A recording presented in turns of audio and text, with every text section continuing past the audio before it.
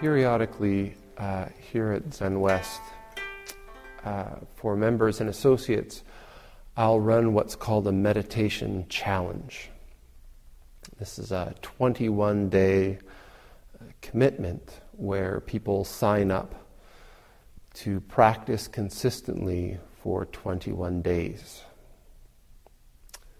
If you come here often at all, one of the things that I talk about over and over again is the significance, the, um, the value of consistency in practice. Meditation is a wonderful thing. And if we do a little bit of it, if we just come here once a week, every Tuesday evening, we find that it has some wonderful sort of analgesic qualities. Maybe we feel a little bit more relaxed. Many people talk about the uh, sort of Wednesday morning glow after a Tuesday evening sit. But it's important to understand that this little uh, blissful, nice feeling is not the uh, limit or is not the maximum capacity of the impact that meditation practice can have on our lives. In fact, in a lot of ways, from the perspective of Zen, uh, it's kind of a side effect, really. The power of practice uh, really hits home or really starts to be felt when we begin to practice consistently, daily.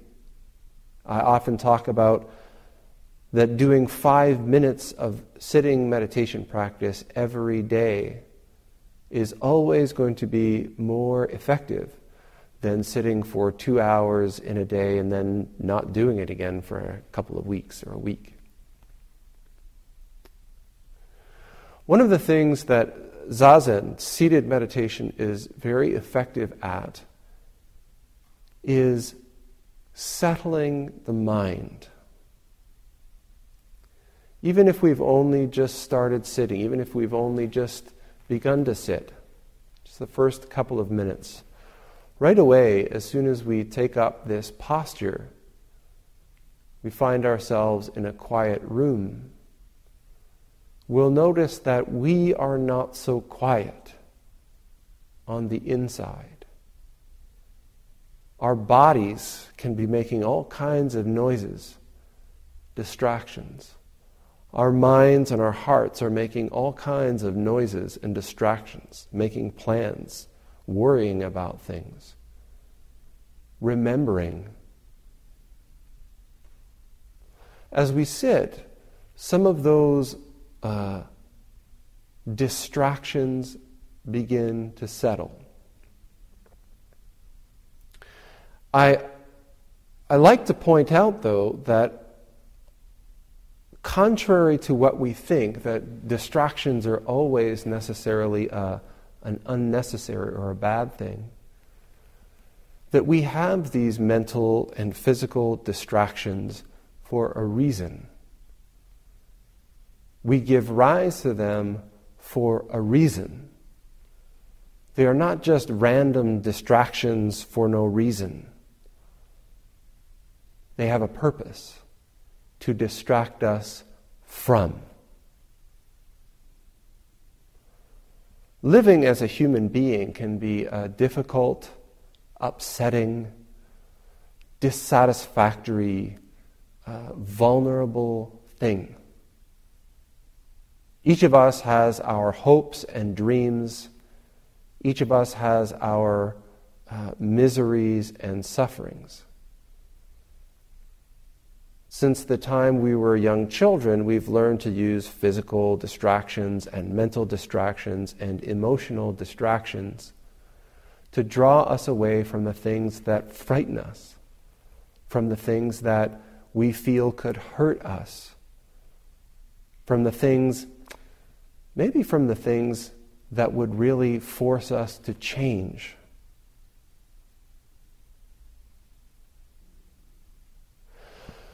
As we continue to sit, particularly if we sit consistently every day, these distractions, little bit by little bit, diminish.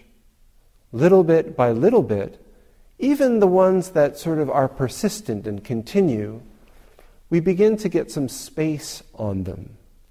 We're not completely wrapped up in them, completely engulfed by them. We can witness them. We can know them, but not be immersed in them. And we continue to settle deeper and deeper into our bodies, deeper and deeper into the activity that's unfolding in front of us in this moment, this activity of our life. It doesn't take very long engaging in this practice. If we sit for 15 minutes a day, every day, we'll find that within a matter of weeks, we begin to feel in a way that we haven't perhaps in many years. But this isn't always a pleasant thing.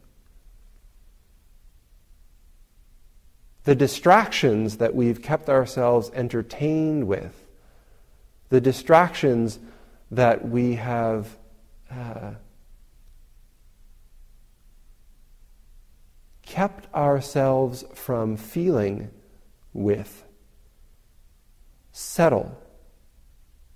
And we begin to come face to face with the problem, with the things that scare us, with the things that make us uncomfortable, with the uncomfortable and sometimes unpleasant truth that we need to change or a circumstance needs to change.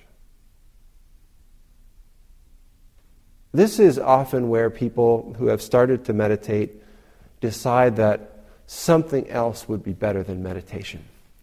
Maybe I should take up an instrument, or maybe I should uh, go do some yoga, or maybe I should um, go backpacking somewhere.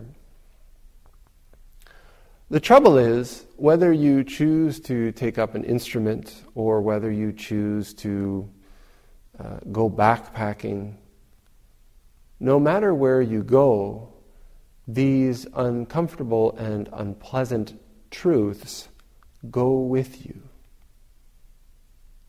Regardless of the refinement of your distraction or the increase in potency of your distraction, these uncomfortable and unpleasant truths don't go away, they just get louder. And pretty soon, thinking isn't enough. Pretty soon, uh, television or reading or eating or, gosh, kitten videos on YouTube just aren't enough. And soon alcohol isn't enough. And soon sex isn't enough. And these uncomfortable and unpleasant truths burst forth into the consciousness of our everyday life. This practice offers us an opportunity to meet them. They're always with us wherever we go as we settle the distractions, as we become more and more face to face with this difficult matter, we can rely, we can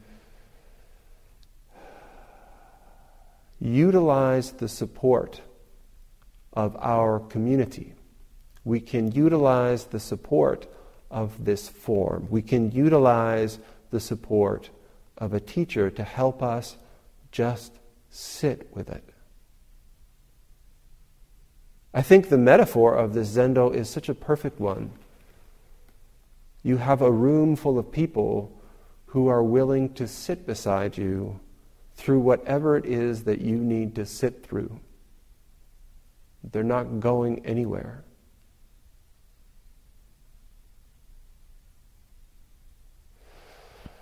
All we need to do, we don't need to dig stuff up. We don't need to go churning around to find things.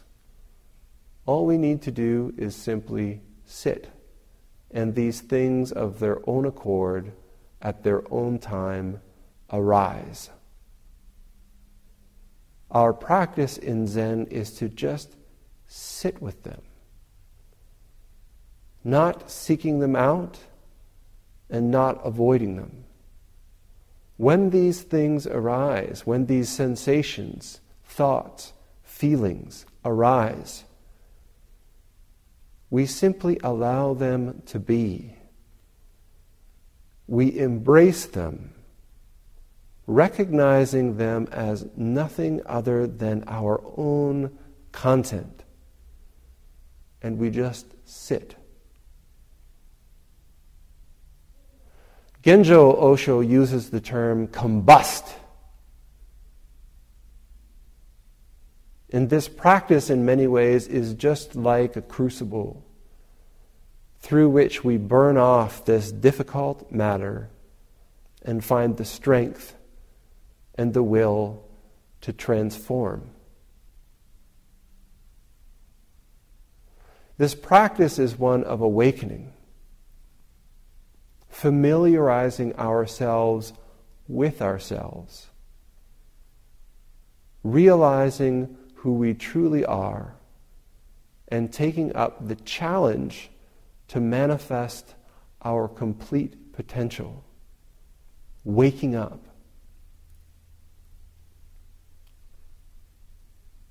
We call this person on the Buddha, on the Butsudan, on the altar here, the Buddha.